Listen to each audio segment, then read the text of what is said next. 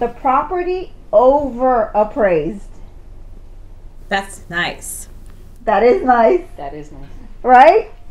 What happens when the property over appraises? I just had somebody paying four hundred and seventy-five thousand dollars for a property, and the appraisal comes in at five thirty. That's a very happy Wow. buyer, isn't Wow. it? I said to my buyer, "You are not going to communicate this number with anyone, right? That's a, isn't that a secret number, Sam?"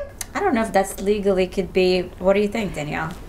If I was a buyer and a buyer's attorney, I would keep that keep that quiet. Yeah, you don't need to share. I don't think we need to ever share the appraisal number if it over appraises or even if it appraises right at the purchase price, matching the contract to the other party, correct? The My seller. my theory is you only need to share it if you're asking for rights based upon it. So if you're asking for a reduction in price, you do need to share it. If you're asking for repairs, you do, do need to share it. If you're asking for repairs, Yeah. Sometimes uh, FHA or VA Oh, loans yes, require FHA. repairs. Yeah, that's a whole different uh, yeah topic. but we're talking about something that over appraises. Peaceful, let's move forward. Absolutely. We celebrate when it over appraises, right? Yeah.